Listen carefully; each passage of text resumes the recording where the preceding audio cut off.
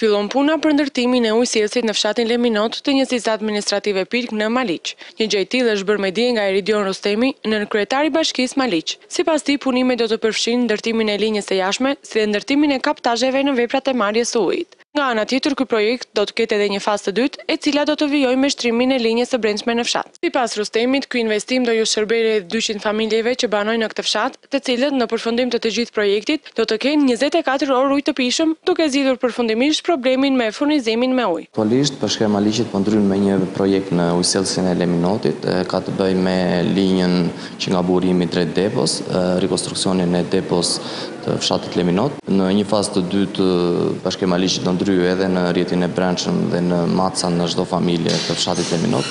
Dhe me këtë ndryurje besoj që do zidhet problemi i ujtë pishën për edhe 200 familje që ka ky fshat. Ndërko Irma Ljona, administratori njësis spirk i kontaktuar, është preur që paralelisht po punojt edhe në fshatin gurisht për ndërtimin e ujësilsit. Edhe në këtë fshat, punimet konsistoj në linjën e jashme dhe në rehabilitimin e kaptajeve të gveprat e marjes ujtë.